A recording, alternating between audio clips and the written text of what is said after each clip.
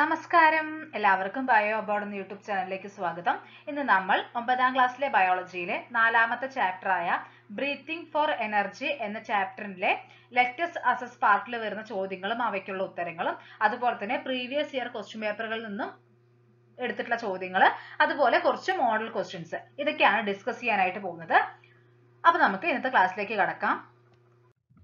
നിങ്ങൾ ഈ ചാപ്റ്ററിന്റെ വീഡിയോസ് കണ്ടിട്ടില്ല എങ്കിൽ അതിന്റെ ലിങ്ക് ഡിസ്ക്രിപ്ഷൻ ബോക്സിൽ കൊടുക്കാം.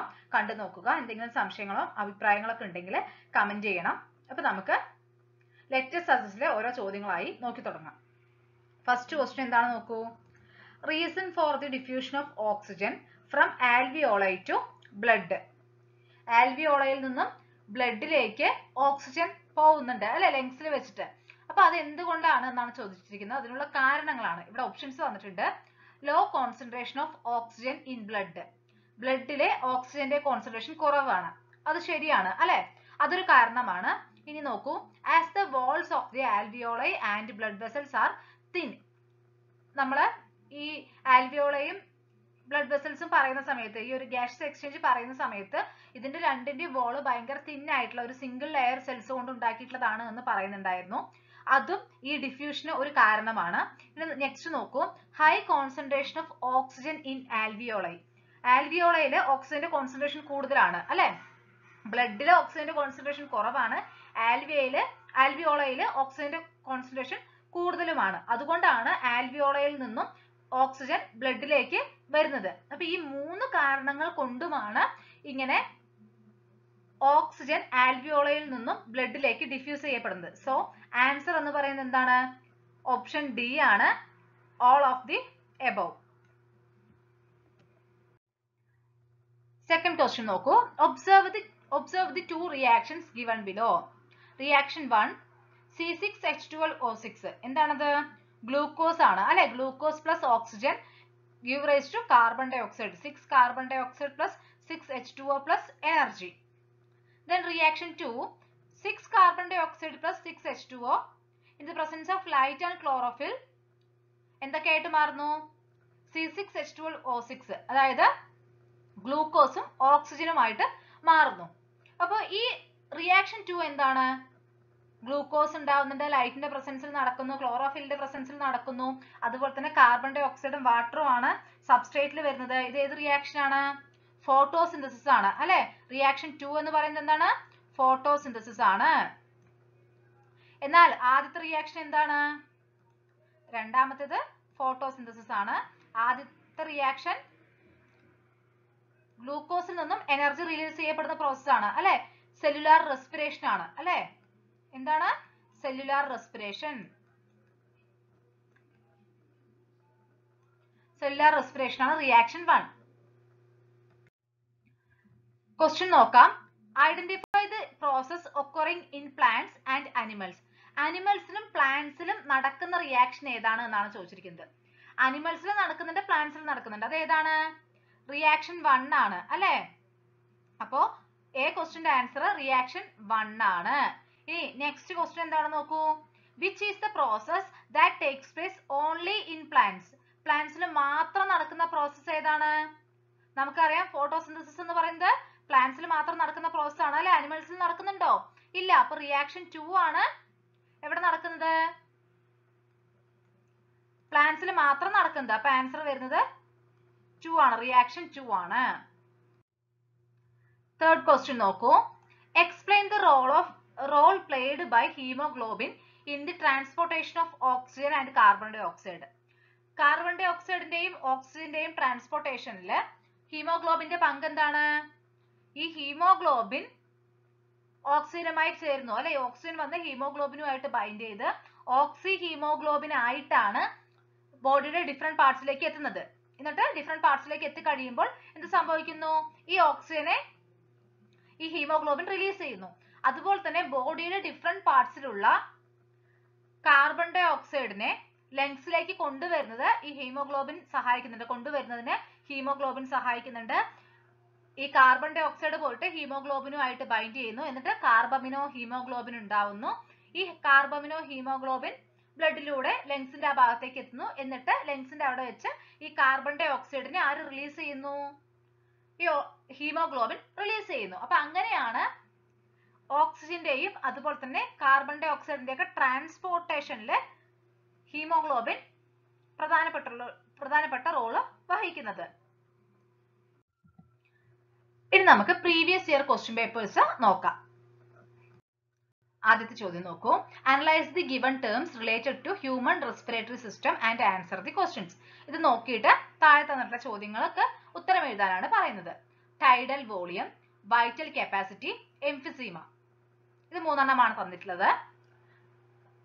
A first question what is an indicator of the strength of the muscles in the thoracic cavity thoracic ക്യാവിറ്റിയിലെ മസിൽസിന്റെ സ്ട്രെങ്തിനെ സൂചിപ്പിക്കുന്ന ഒരു ഇൻഡിക്കേറ്റർ ഏതാണെന്നാണ് ചോദിച്ചിരിക്കുന്നത്. അതായത് ഈ ഒരു മെഷർമെന്റ് എടുത്തു കഴിഞ്ഞാൽ തൊറാസിക് ക്യാവിറ്റിയിലെ മസിൽസ് സ്ട്രോങ് ആണോ അല്ലയോ എന്നുള്ളത് നമുക്ക് മനസ്സിലാക്കാനായിട്ട് സാധിക്കുന്നു.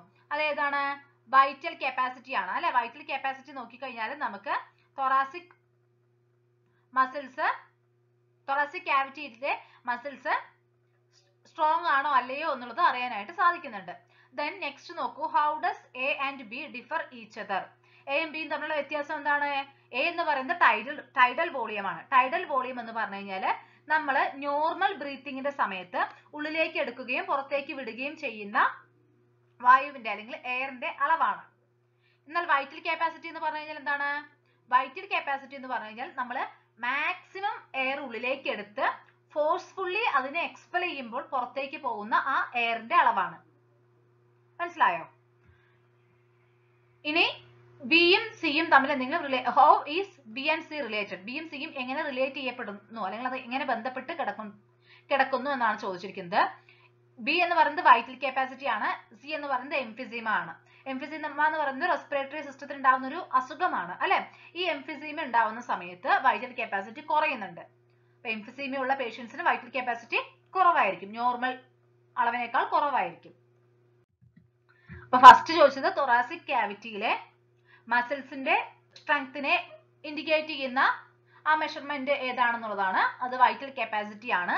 Then tidal volume vital capacity തമ്മിലുള്ള വ്യത്യാസമാണ് ചോദിച്ചത്. ടൈഡൽ വോളിയം എന്ന് പറഞ്ഞു കഴിഞ്ഞാൽ നമ്മൾ നോർമൽ ബ്രീത്തിങ്ങിന്റെ സമയത്ത് ഉള്ളിലേക്ക് എടുക്കുകയും പുറത്തേക്ക് വിടുകയും ചെയ്യുന്ന എയറിന്റെ അളവാണ്. എന്നാൽ വൈറ്റൽ കപ്പാസിറ്റി എന്ന് പറഞ്ഞു കഴിഞ്ഞാൽ എന്താണ്? Vital capacity is the volume of air that can be breathed out by forceful expiration after maximum or forceful inspiration അതായത് നമ്മൾ മാക്സിമം എയർ ഉള്ളിലേക്ക് എടുത്ത് ഇൻസ്പയർ ചെയ്തതിന് ശേഷം ഫോഴ്സ്ഫുള്ളി എക്സ്പയർ ചെയ്യുമ്പോൾ പുറത്തേക്ക് വരുന്ന എയറിന്റെ അളവാണ് വൈറ്റൽ കപ്പാസിറ്റി എന്ന് പറയുന്നത്. ഇനി എംഫിസീമയും വൈറ്റൽ കപ്പാസിറ്റിയും തമ്മിലുള്ള ബന്ധമാണ് ചോദിച്ചത്. അതെന്താണ്? എംഫിസീമ വന്നു കഴിഞ്ഞാൽ വൈറ്റൽ കപ്പാസിറ്റി കുറയുന്നുണ്ട്. നെക്സ്റ്റ് ക്വസ്റ്റ്യൻ നോക്കൂ. Which among the following disease condition is not related to the over consumption of fat fat ഒരുപാട് കഴിച്ചു കഴിഞ്ഞാൽ വരുന്ന രോഗങ്ങളെ കുറിച്ച് നമ്മൾ പഠിച്ചിരുന്നു അല്ലെ? അത് ഈ ചാപ്റ്ററിലല്ല അതിന് മുമ്പേ ഉള്ള ചാപ്റ്ററിലാണ് പഠിച്ചത്. അപ്പോ ഇവിടെ ചോദിച്ചിരിക്കുന്നത് ഫാറ്റ് കൂടുതൽ കഴിക്കുന്നത് കൊണ്ട് ഇല്ലാത്ത രോഗം ഏതാണ്? അതുകൊണ്ടല്ലാതെ വരുന്ന രോഗം ഏതാണ് എന്നാണ്. അപ്പോൾ ഫാറ്റ് കൂടുതൽ കാരണം വരാൻ സാധ്യതയുള്ള രോഗങ്ങൾ അതിറോസ്ക്ലീറോസിസ് ഹാർട്ട് അറ്റാക്ക് ത്രോംബോസിസ് ഒക്കെയാണ്. എന്നാൽ എംഫിസീമ എന്ന് പറയുന്നത് റെസ്പിറേറ്ററി സിസ്റ്റമായി ബന്ധപ്പെട്ട് വരുന്ന ഒരു അസുഖമാണ്. അത് സ്മോക്കിംഗ് കാരണം ഉണ്ടാവുന്നതാണ് അല്ലെ? അപ്പോ ഓവർ കൺസപ്ഷൻ ഓഫ് ഫാറ്റ് മൂലമല്ലാതെ ഉണ്ടാവുന്ന ഒരു രോഗം എന്ന് പറയുന്നത് ഏതാണ്? എംഫിസീമയാണ് Complete the table related to cellular respiration by comparing the data in column A and B. എയും ബിയും തമ്മിൽ കമ്പയർ ചെയ്തിട്ട് ഈ വിട്ടുപോയ ഭാഗമൊക്കെ ഫില്ല് ചെയ്യാനാണ് പറയുന്നത്. ഇത് എന്തുമായി ബന്ധപ്പെട്ട് വരുന്നതാണ്? സെല്ലുലാർ റെസ്പിറേഷനുമായി റിലേറ്റ് ചെയ്ത് വരുന്ന ക്വസ്റ്റ്യൻ ആണ്. ഗ്ലൈക്കോളിസിസ് കൊടുത്തിട്ടുണ്ട്. എന്നാൽ ഇവിടെ ഏതാ പ്രോസസ്സ് എന്ന് കൊടുത്തിട്ടില്ല. മൈറ്റോകോൺട്രിയയിൽ വെച്ച് നടക്കുന്ന സെല്ലുലാർ റെസ്പിറേഷനുമായി ബന്ധപ്പെട്ട് വരുന്ന പ്രോസസ്സ് ഏതാണ്? അതെ ക്രേബ് സൈക്കിൾ ആണ്. അല്ലെ? അപ്പൊ ഇവിടെ എന്താ വരിക? ക്രേബ് സൈക്കിൾ ആണ് വരിക. ക്രേബ് സൈക്കിൾ ആണ് വരിക. ക്രേബ് സൈക്കിൾ എവിടെ വെച്ച് നടക്കുന്നത്? മൈറ്റോകോൺഡ്രിയയിൽ വെച്ചാണ് നടക്കുന്നത്. ഗ്ലൈക്കോളിസിസ് ആണെങ്കിലോ?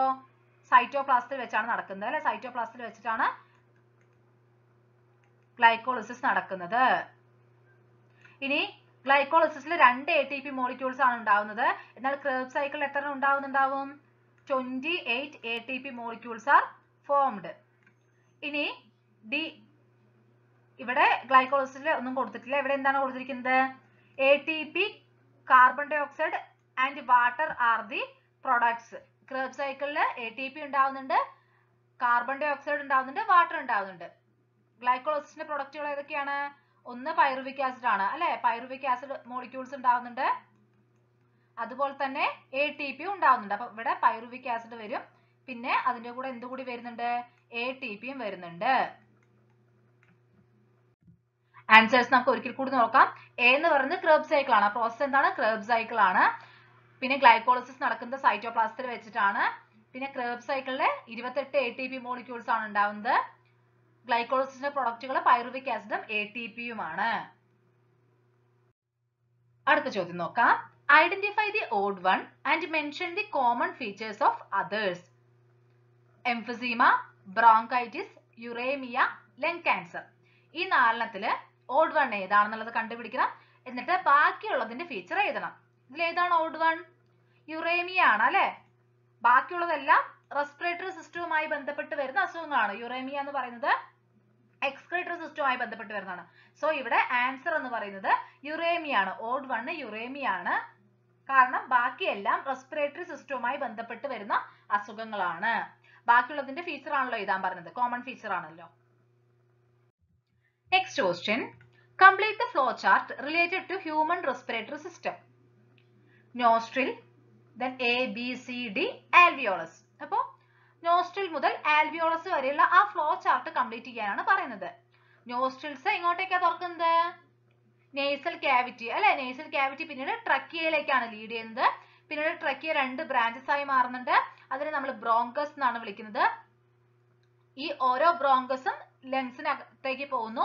എന്നിട്ട് ലങ്സിൽ വെച്ച് വീണ്ടും ചെറിയ ചെറിയ ബ്രാഞ്ചസ് ആയിട്ട് മാറുന്നു. അതാണ് ബ്രോങ്കിയോൾസ് എന്ന് പറയുന്നത്. ഈ ഓരോ ബ്രോങ്കിയോൾസും ചെന്ന് അവസാനിക്കുന്നത് ആൽവിയോളയിലാണ് അല്ലെ?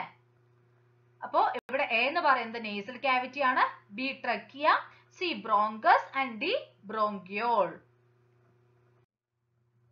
complete the chemical equation related to respiration appropriately അപ്പൊ ഈ ഒരു ഇക്വേഷൻ ഫിൽ ചെയ്യാനാണ് പറയുന്നത്. എന്തിന്റെയാണ് സെല്ലുലാർ റെസ്പിറേഷന്റെ ആണ് അല്ലെ? ഇവിടെ കാർബൺ ഡൈ ഓക്സൈഡ് പ്രൊഡക്റ്റിൽ കൊടുത്തിട്ടുണ്ട്. അത്ര മാത്രമേ തന്നിട്ടുള്ളൂ ബാക്കി നമ്മൾ എഴുതണം. അപ്പൊ ഇവിടെ നോക്കൂ. എന്തൊക്കെയാണ് ഇവിടെ സബ്സ്ട്രേറ്റിൽ വരിക? സബ്സ്ട്രേറ്റുകളായിട്ട് വരുന്നത് ഒന്ന് ഗ്ലൂക്കോസ് ആയിരിക്കും. കാരണം ഗ്ലൂക്കോസിൽ നിന്നും എനർജി ഉണ്ടാവുന്ന പ്രോസസ് ആണ് അല്ലെ? ഗ്ലൂക്കോസ് അല്ലെങ്കിൽ C six H twelve O six നിന്ന് നിങ്ങൾക്ക് എഴുതാം. അപ്പൊ ഇവിടെ ഗ്ലൂക്കോസ് പിന്നെ എന്തുകൂടെ ഉണ്ടാവും? ഓക്സിജൻ ഉണ്ടാവും. ഓക്സിജന്റെ പ്രസൻസിലാണ് ഇവിടെ കംപ്ലീറ്റ് ആയിട്ട് ഈ ഗ്ലൂക്കോസിൽ നിന്നും കാർബൺ ഡൈ ഓക്സൈഡും വാട്ടറും ഒക്കെ ഉണ്ടാവുന്നത്. സോ ഓക്സിജൻ വരും. എയറോബിക് റെസ്പിറേഷൻ ആണ് അല്ലെ? സോ ഗ്ലൂക്കോസ് വരും ഓക്സിജൻ വരും. അപ്പൊ ഈ ഗ്ലൂക്കോസ് എന്നുള്ളത് എയുടെ സ്ഥാനത്തോ അല്ലെങ്കിൽ ബിയുടെ സ്ഥാനത്തോ എഴുതാം. അതുപോലെ തന്നെ ഓക്സിജൻ എന്നുള്ളതും എയുടെയോ ബിയുടെയോ സ്ഥാനത്തോ എഴുതാം. ഇത് അങ്ങോട്ടും ഇങ്ങോട്ടും മാറിയത് കൊണ്ട് കുഴപ്പമില്ല. ഇനി പ്രൊഡക്റ്റുകളിൽ എന്തൊക്കെയാ വരിക? കാർബൺ ഡൈ ഓക്സൈഡ് ഓക്സൈഡും വാട്ടറും അതുപോലെ തന്നെ എ ടി പിയുമാണ് ഉണ്ടാവുന്നത്. അപ്പോ വാട്ടറും വരും മുപ്പത് എ ടി പിയും വരും. കാരണം കാർബൺ ഡൈ ഓക്സൈഡ് ഓൾറെഡി ഉണ്ട്. അപ്പൊ നിങ്ങൾക്ക് ആ വാട്ടർ എന്നുള്ളതും മുപ്പത് എ ടി പി എന്നുള്ളതും അങ്ങോട്ടും ഇങ്ങോട്ടും മാറ്റി എഴുതിയാലും കുഴപ്പമില്ല. കാരണം രണ്ട് പ്രൊഡക്റ്റിൽ വരുന്നതാണല്ലോ. സോ ഗ്ലൂക്കോസ് ഓക്സിജൻ അത് എയുടെയും ബിയുടെയും സ്ഥാനത്ത് വരുന്നു.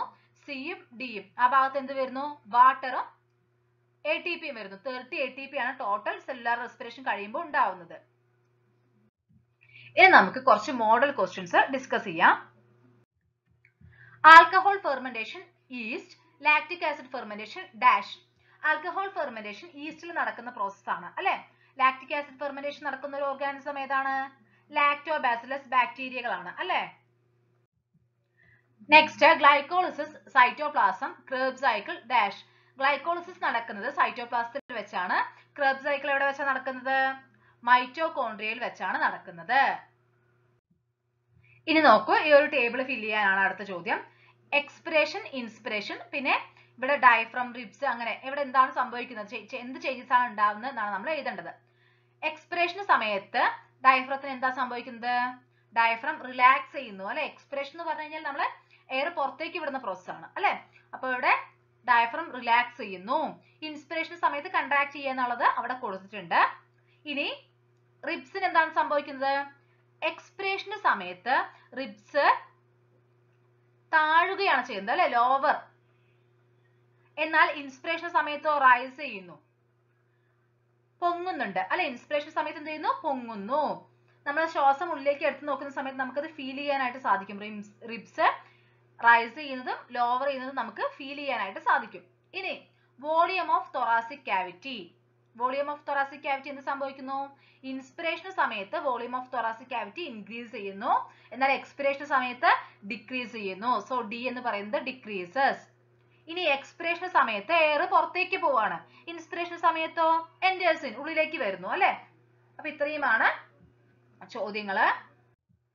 നമ്മളിപ്പോ ബ്രീത്തിങ് ഫോർ എനർജി എന്ന ചാപ്റ്ററിലെ ക്ലാസ്സുകൾ തീർത്തു. ലെറ്റസ് അസസ് പാർട്ടിലെ ക്വസ്റ്റ്യൻസ് അതുപോലെ തന്നെ previous year question paper discuss ചെയ്തു. പിന്നെ മോഡൽ ക്വസ്റ്റ്യൻസ് ഡിസ്കസ് ചെയ്തു. ഇൻഡിക്കേറ്റേഴ്സിന്റെ ആൻസേഴ്സ് എല്ലാം ഒരു വീഡിയോ ആയിട്ട് ചെയ്തു. അപ്പൊ ഈ ചാപ്റ്റർ മുഴുവനായിട്ട് തീർന്നിരിക്കുകയാണ്. ഈ ചാപ്റ്ററിൽ എന്തെങ്കിലും സംശയങ്ങളൊക്കെ ഉണ്ടെങ്കിൽ കമന്റ് ചെയ്യുക. അപ്പൊ നമുക്ക് അടുത്തൊരു വീഡിയോയിൽ കാണാം. നിങ്ങൾക്ക് ഈ വീഡിയോ ഹെൽപ്ഫുൾ ആയി തോന്നിയാൽ നിങ്ങളുടെ കൂട്ടുകാർക്ക് എല്ലാവർക്കും ഷെയർ ചെയ്ത് കൊടുക്കുക. അതുപോലെ തന്നെ ബയോ അബോർഡ് എന്ന ചാനൽ നിങ്ങൾ ഇതുവരെ സബ്സ്ക്രൈബ് ചെയ്തില്ലെങ്കിൽ സബ്സ്ക്രൈബ് ചെയ്യാനും മറക്കരുത്. താങ്ക്